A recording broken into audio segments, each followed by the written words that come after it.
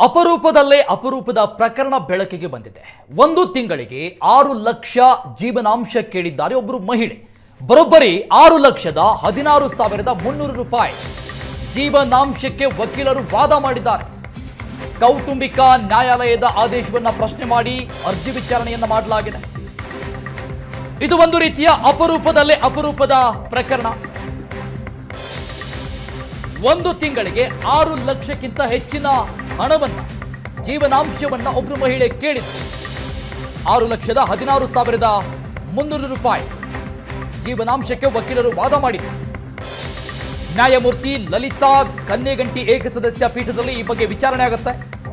ಒಂದು ತಿಂಗಳ ಖರ್ಚಿಗೆ ಆರು ಲಕ್ಷ ಹದಿನಾರು ಸಾವಿರದ ಮುನ್ನೂರು ರೂಪಾಯಿ ಬೇಕು ಅಂತ ಮಹಿಳೆಯೊಬ್ಬರು ಹೈಕೋರ್ಟ್ಗೆ ಮನವಿ ಮಾಡಿದ್ರು. ಎಸ್, ಈ ಸಂಬಂಧಪಟ್ಟಂಗೆ ಒಂದಿಷ್ಟು ಡೀಟೇಲ್ಸ್ ಕೊಡ್ತಾರೆ ವಕೀಲೆ ರಾಜರಾಜೇಶ್ವರಿ ನಮ್ಮ ಜೊತೆ ದೂರವಾಣಿ ಸಂಪರ್ಕದಲ್ಲಿದ್ದಾರೆ. ಮೇಡಮ್ ನಮಸ್ಕಾರ. ನಮಸ್ತೆ. ಮೇಡಮ್ ಒಂದು ಕೋರ್ಟ್ನಲ್ಲಿ ಆದಂತಹ ಕೌಟುಂಬಿಕ ಕೋರ್ಟ್ನಲ್ಲಿ ಆದಂತಹ ಒಂದು ಕನ್ವರ್ಸೇಷನ್ ಅನ್ನ ನಾವು ನೋಡ್ತಾ ಇದ್ದೀವಿ. ತುಂಬಾ ಅಪರೂಪದಲ್ಲಿ ಅಪರೂಪ ಒಂದು ವಿಚಾರ ಇದು. ಒಂದಂತೂ ಕ್ಲಾರಿಟಿ ಇಲ್ಲ ತುಂಬಾ ಜನರಿಗೆ. ಯಾವ ರೀತಿಯಾಗಿ ಜೀವನಾಂಶವನ್ನ ನಿರ್ಧಾರ ಮಾಡುತ್ತೆ ಕೋರ್ಟ್ ಅಂತ? ಒಂದು ಕ್ಲಾರಿಟಿ ಸಿಗ್ಬೇಕಂದ್ರೆ ಇದ್ರ ಬಗ್ಗೆ ಡೀಟೇಲ್ಸ್ ಕೊಡ್ಬೋದಾ ಮೇಡಮ್ ತಾವು? ಆ ಇದು ಮೇಂಟೆನೆನ್ಸ್ ಎರಡು ಟೈಪ್ ಇರುತ್ತೆ. ಒಂದು ಇಂಟ್ರಿಮ್ ಮೇಂಟೆನೆನ್ಸ್ ಇನ್ನೊಂದು ಪರ್ಮನೆಂಟ್ ಅಲಮೋನಿ ಅಂತ. ಇಂಟ್ರಿಮ್ ಮೇಂಟೆನೆನ್ಸ್ ಯಾವಾಗ ಕೊಡ್ತಾರೆ ಕೋರ್ಟ್ ಅಂತಂದ್ರೆ ಕೇಸ್ ನಡಿಬೇಕಾದ್ರೆ. ಮಹಿಳೆಗೆ ಕಷ್ಟ ಆಗ್ಬಾರ್ದು. ಫುಡ್ ಶೆಲ್ಟರ್ ಕ್ಲೋತಿಂಗ್ ಇರಬೇಕು ಅಂತ ಹೇಳಿ ಒಂದು interim maintenance during the case time ಅಂದ್ರೆ ಕೇಸ್ ಯಾವಾಗ ಹಾಕ್ ಹಾಕ್ತಾರೋ ಯಾವಾಗ ಹೆಂಡ್ ಆಗುತ್ತೋ ಅಷ್ಟರಲ್ಲಿ ಆ ಪೀರಿಯಡ್ಗೆ ಇಂಟ್ರಿ ಮೇಂಟೆನೆನ್ಸ್ ಕೊಡ್ತಾರೆ. ಪರ್ಮನೆಂಟ್ ಆಲಮೋನಿ ಯಾವಾಗ ಕೊಡ್ತಾರೆ ಅಂದ್ರೆ ಡೈವರ್ಸ್ ಕೊಡ್ ಗ್ರಾಂಟ್ ಮಾಡಿದಾಗ ಆ ಹುಡುಗಿಗೆ ಲೈಫ್ ಲಾಂಗ್ ಸೆಟಲ್ಮೆಂಟ್ ಅಂತ ಹೇಳಿ ಅಕಾರ್ಡಿಂಗ್ ಟು ದಿ ಹಸ್ಬೆಂಡ್ ಇದು ಸ್ಟೇ, ಇದು ಇನ್ಕಮ್ ನೋಡ್ಕೊಂಡು ಪರ್ಮನೆಂಟ್ ಹಲಮೋನಿ ಕೊಡ್ತಾರೆ. ಈ ಈ ಇದು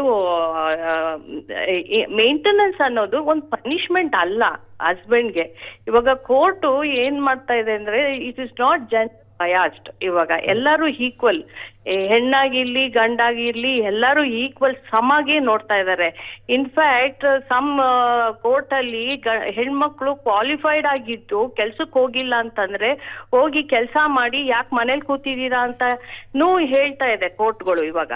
ಸೊ ಈ ಹೆಣ್ಮಕ್ಳು ಏನಂತಂದ್ರೆ ಈ ಈ ಮೇಂಟೆನೆನ್ಸ್ ಅಪ್ಲಿಕೇಶನ್ ಹಾಕೋದೇ ರಿಕ್ವೈರ್ಮೆಂಟ್ ಅಲ್ಲ ಸಮ್ ಕೇಸಸ್ ಅಲ್ಲಿ. ಅವರು ವೆಜ್ಜನ್ಸ್ ಕಷ್ಟ ಕೊಡಕ್ಕೆ, ಗಂಡನ್ಗೆ ಕಷ್ಟ ಕೊಡ್ಬೇಕು ಅಂತಾನೆ ಮೇಂಟೆನೆನ್ಸ್ ಹಾಕ್ತಾರೆ. ಆಮೇಲೆ ಒಳ್ಳೆ ಒಳ್ಳೆ ಜಾಬ್ನ ಬಿಟ್ಟು ಮನೇಲಿ ಕೂತ್ಕೊಂತಾರೆ. ಗಂಡ ಕೊಡ್ಲಿ ದುಡ್ಡು ಅಂತ. ಅವರು ಲಕ್ಷಗಟ್ಲೆ ಅರ್ನ್ ಮಾಡ್ತಾ ಇದ್ರು ಗಂಡ ಇಂದ ಒಂದ್ ನೂರು ರೂಪಾಯಿ ಬಂದ್ರು ನಮ್ಗೆ ಅವನ್ಗೆ ಪನಿಷ್ಮೆಂಟ್ ಅಂತ ಹೇಳಿ ಕೆಲ್ಸನೂ ಬಿಟ್ಟು ಹೋಗ್ತಾರೆ. ಅದೇ ತರ ಗಂಡ್ ಮಕ್ಳು ಮೇಂಟೆನೆನ್ಸ್ ಕೊಡ್ಬೇಕು ಅಂತ ಕೆಲ್ಸ ಬಿಡ್ತಾರೆ.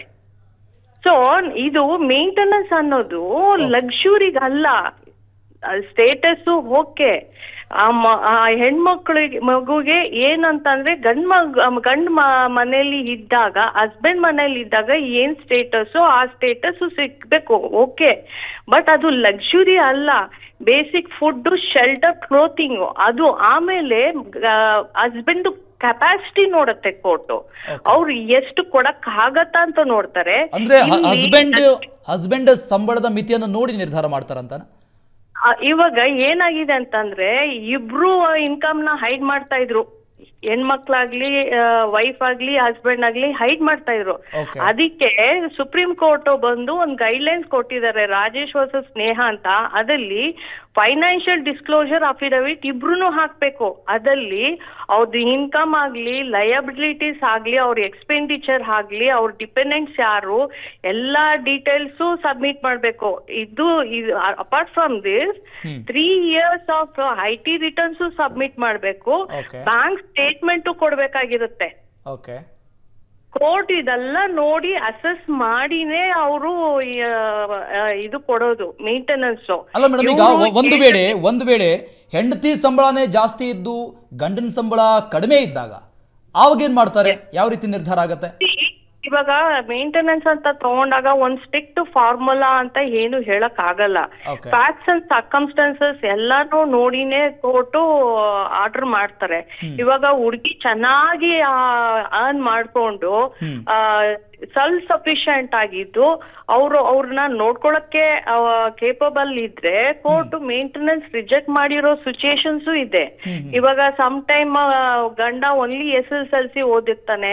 ಈ ಹುಡುಗಿ ಇಚ್ಛಾರು ದೊಡ್ಡ ಪೊಸಿಷನ್ ಅಲ್ಲಿ ಇದ್ದಾಗ ಆವಾಗ ಇವಾಗ ಮೇಂಟೆನೆನ್ಸ್ ಕೊಡೋದು ಏನಕ್ಕೆ ಪನಿಷ್ಮೆಂಟ್ಗಲ್ಲ ರಿಕ್ವೈರ್ಮೆಂಟ್ಗೆ ನಿಂಗ್ ರಿಕ್ವೈರ್ಮೆಂಟ್ ಇದೆಯಾ? ತಗೋ. ಅಷ್ಟೇ. ಇವಾಗ ಹೆಂಗ್ ಹಾಕ್ತಾ ಇದೆ ಅಂತಂದ್ರೆ ಹೆಣ್ಮಕ್ಳು ಎಲ್ಲ ಕ್ರೋರ್ಸ್ ಅಲ್ಲೇ ಮಾತಾಡ್ತಾ ಇದಾರೆ. ಅದು ಹಂಗ ಆಗೋದೇ ಇಲ್ಲ. ಈ- ಪರ್ಮನೆಂಟ್ ಅಲುಮೋನಿ ಅಂತಂದ್ರೆ ಎರಡು ಕೋಟಿ ಮೂರ್ ಕೋಟಿ ಕೋಟಿ ಗಟ್ಲೆ ಮಾತಾಡ್ತಾರೆ. ಅಲ್ಲಿ ಸಿಗೋದು ಕಮ್ಮಿ ಅಂದ್ರೆ ಕಮ್ಮಿ. ಓಕೆ. ಈ- ಕೇಳುವಾಗ ಖರ್ಚಿನ ಬಗ್ಗೆ ಮಾಹಿತಿ ಕೊಡ್ಬೇಕಾ ಮೇಡಮ್ ನಾವು? ಈ ಮಹಿಳೆಯರು ಖರ್ಚಿನ ಬಗ್ಗೆ ಕೋರ್ಟ್ಗೆ ಮಾಹಿತಿ ಕೊಡ್ಬೇಕಾ? ಇಬ್ರು ಫೈಲ್ ಅಫಿಡೆವಿಟ್ ಹಾಕ್ಬೇಕು. ಯಾಕಂದ್ರೆ ತಪ್ಪು ಮಾಹಿತಿ ಕೊಟ್ರೆ ಅದು ಕ್ರಿಮಿನಲ್ ಕೇಸ್ ಆಗತ್ತೆ ಪರ್ಜುರಿ ಆಗತ್ತೆ ಅಂತ ಹೇಳಿ. ಸುಪ್ರೀಂ ಕೋರ್ಟ್ ಇಬ್ರುದು ಅಫಿಡೆವಿಟ್ ಕೇಳ್ತಾರೆ. ನಿಮ್ದು ಇನ್ಕಮ್ ಎಷ್ಟು ನಿಮ್ ಎಕ್ಸ್ಪೆಂಡಿಚರ್ ಎಷ್ಟು bank statement ಕೊಡ್ಬೇಕಾಗಿರತ್ತೆ three years I T returns ಕೊಡ್ಬೇಕಾಗಿರತ್ತೆ. ಆಮೇಲೆ ಕೋರ್ಟ್ ಸುಪ್ರೀಂ ಕೋರ್ಟ್ ಇತ್ತೀಚೆಗೆ ಏಪ್ರಿಲ್ ಅಲ್ಲಿ ಹೇಳಿರೋದು twenty five percent of the income of the husband is Yes. Entitled ಅಂತ. ಅದು ಎಷ್ಟು ಎಲ್ಲಾ ಕೇಸ್ಗೂ ಇದು ಇದು ಬಂದು ಒಂದು ಫಾರ್ಮುಲಾ ತರ ತರ ತಗೊಳಕ್ ಆಗಲ್ಲ. Okay okay madam yes thank you so much Suvarna ನಿಮ್ಮ ಜೊತೆ ಮಾತನಾಡಿದ್ದಕ್ಕೆ.